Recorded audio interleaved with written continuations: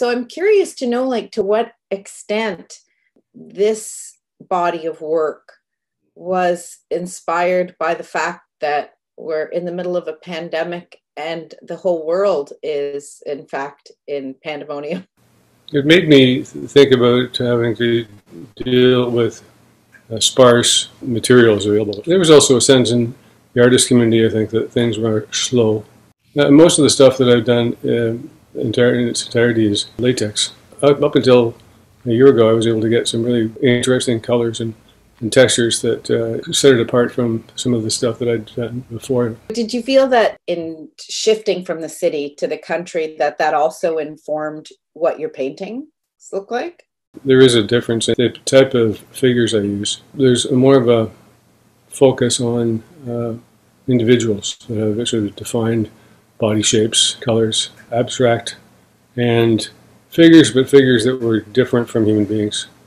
How have you processed this change uh, that the world is going through in terms of human relationships? I have probably been exposed to a broader range of people working in either you know, directly in this subject matter or on the periphery. There's a real sense, I think, of protecting the terrain, which is, I think, a good thing, but it's also something that it has, has to go somewhere. The desire to paint is, is, for me, is as strong as it was uh, initially, and I, I, had to sort of think more about how I'm going to sort of approach a certain set, set, of issues than where one or two years ago I would have been more broadly interested in a range of issues.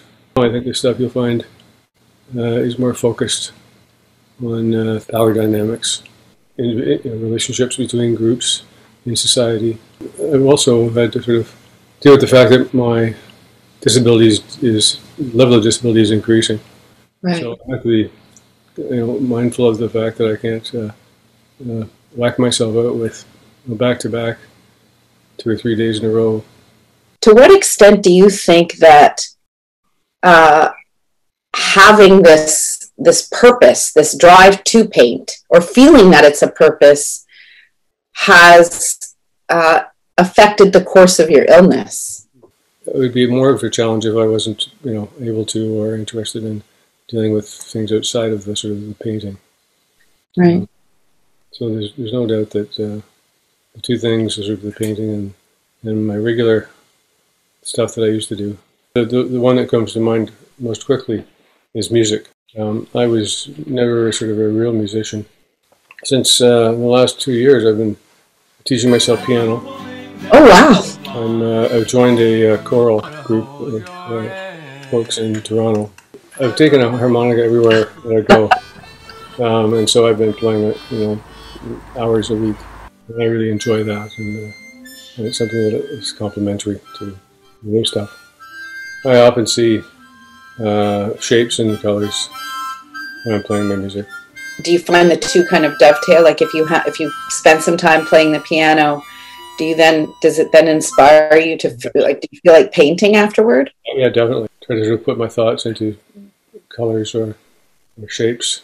It's, it's, wonderful to be able to do that. One thing I'd like people to understand is that uh, I am just, uh, you know, one person out there doing work. You can derive a lot of pleasure uh, from the, the, act of being an artist. I cringe when I hear people say that. Well, I, you know, I've never been, I've never drawn a line, or, or I've never filled in color, or, or uh, spent, you know, time in a sort of a reverie of, of music. It's, a, it's something that we can all uh, take advantage of. I just wonder if you could tell me a little bit about the title of the exhibit, calling it Pandemonium. I was thinking in terms of relationships between institutions of authority, mm. and uh, and what happens to them when they uh, when they retain their responsibilities but go off the rails. I think mm. that we have to sort of spend more time thinking about the opportunities that this thing has presented to, to us. The, the fact that it exists gives us uh, an opening for making some type of, a different type of symbolic speech. Things that we would not have spent much time working on or thinking about.